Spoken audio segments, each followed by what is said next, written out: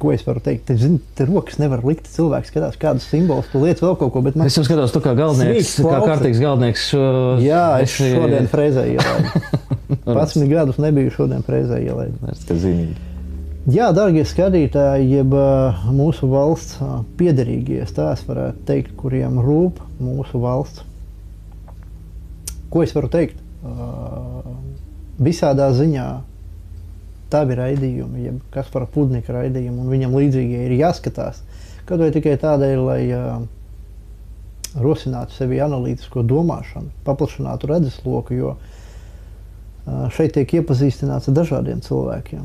Ne tikai tādiem trakiem kā es, bet nu, ir arī normāli cilvēki, ir komponisti, profesori un tam līdzīgi, kuriem. Bet, bet vajag, bet vajag dažādi. Mēs nedalām pēc profesionāla. Es saprotu, bet vajag dažādību, un cilvēkiem tas ir jāsaprot, ka mēs esam dažādi. Un, uh, mēs katrs ejam ar savām čībām, respektīvi, katrs savu ceļu esam dzīvē nogājuši un tādā veidā guvuši kaut kādu skatījumu, pieredzi, no kā savukārt mēs veidojam viedokli.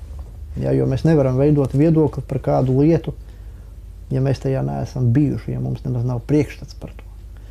Tādēļ aicinu skatīties pēc iespējas vairāk šādus uh, informatīvi izklaidējošos raidījumus. Jā, un uh, par to Latvijas uh, dzīves ziņu un par to patriotismu. Nu, mums viņu ņem nost visiem spēkiem. Mums viņu ne tikai ņem nost, mums viņu nozog mūsu bērniem. Un šobrīd, šodien laist uh, bērnu skolā, ir jāapzinās, ka viņš tiek padarīts ar vien svešāks mums. Un viņš tiek attālināts no vecākiem, attālināts no vides, kurā dzīvo. Mm, sistēma pārņem šo lomu. Un uh, nepaiet ne, nedaudz brīdis, kā saka, ka mēs, mums šķiet, ka mēs vairs nepazīstam, kā tas ir, kā viņi domā, kā viņi raugās uz pasauli. Mums ir grūti paskaidrot kaut kādīgi saviem bērniem savu redzējumu, bet ir jāsaprot, ka uh, skolā redzējumu viņiem skaidro 8 stundas dienā. Bet uh, mēs kā vecāki lielu daļu strādājam, esam mājās tik, cik esam, esam ar bērniem tik, cik esam, un, un diemžēl ir vecāki, kas, mm, es teikšu, nevelta laiku, nevis neziedo, bet nevelta laiku saviem bērniem. Uh, ja mēs tā saknē paskatāmies, es nemāku īsi runāt, ja mēs saknē raugāmies, tad uh, neko nevar panākt tagad un tūlīt.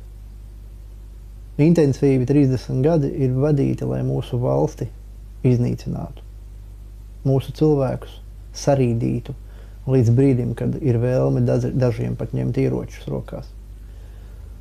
Mūsu šķeļ ikdienas, un jāsaprot, ka risinājums nebūs viegls. Un šeit ir jāapzinās, ko mēs gribam, ko mēs nesam, kas mēs esam. Ja mēs gribam dansot pēc rietumiem, pēc austrumiem, pēc dienvidiem, ziemeļiem, vai mēs tomēr gribam būt mēs paši. Un ja mēs paši, tad ir jāapzinās īstais ienaidnieks. Tas ienaidnieks noteikti nav jūsu kaimiņš.